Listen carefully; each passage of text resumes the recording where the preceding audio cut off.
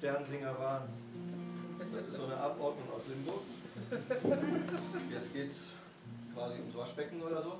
Wenn er die Badewanne doch schon hat. Aber ist egal.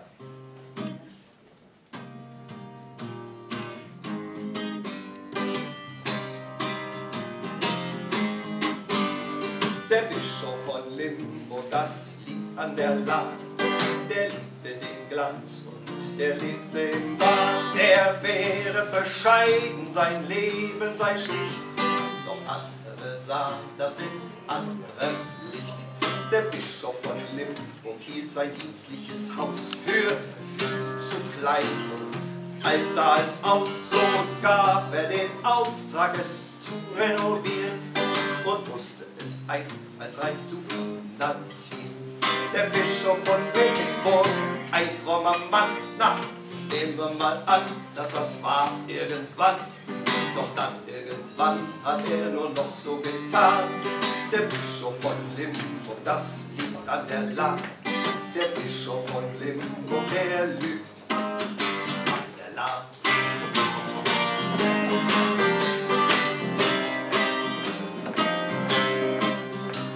Der Bischof von Limburg kommt leicht an viel Geld.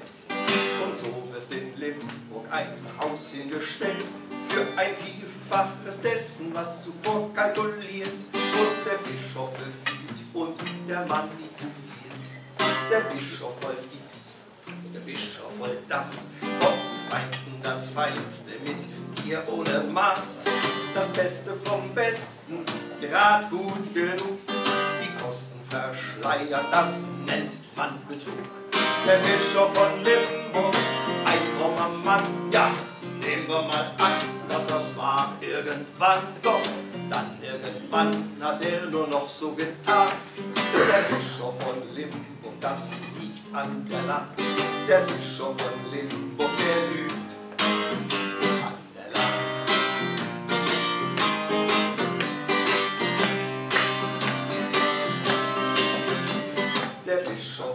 Limburg, der viel von sich hält, sorgt mit der Kollekte für die Armen der Welt. Hilfe sei wichtig, Kontrolle sei klug. Als Kontrolleur gönnt er sich nen teuren Flug. Das streitet er ab, als man ihn danach fragt. Der Staatsanwalt hat ihn dafür angeklagt. Und Meißner, sein Gönner, der zeigt sich verschnupft. Der Limburger Pfau nun zerzaust und gerupft. Der Bischof von Limburg, ein frommer Mann. Nehmen wir mal an, dass es war irgendwann doch. Dann irgendwann hat er nur noch so getan. Der Bischof von Limburg, das liegt an der Lage. Der Bischof von Limburg, der lügt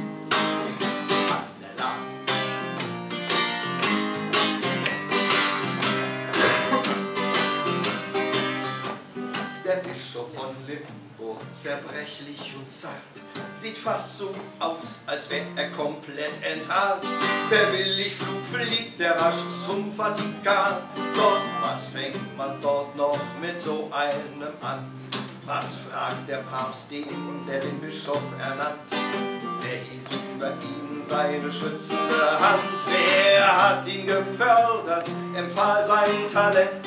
Geheimnis der Beichte, mehr droht nicht am End. Der Bischof von Limburg, ein frommer Mann, na, nehmen wir mal an, dass das war irgendwann, doch dann irgendwann hat er nur noch so getan.